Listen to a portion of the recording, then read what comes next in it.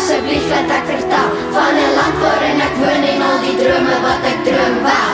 Gee my 'n kans om te verduidelik hoe dit voel om met trots te sê ek's Afrika.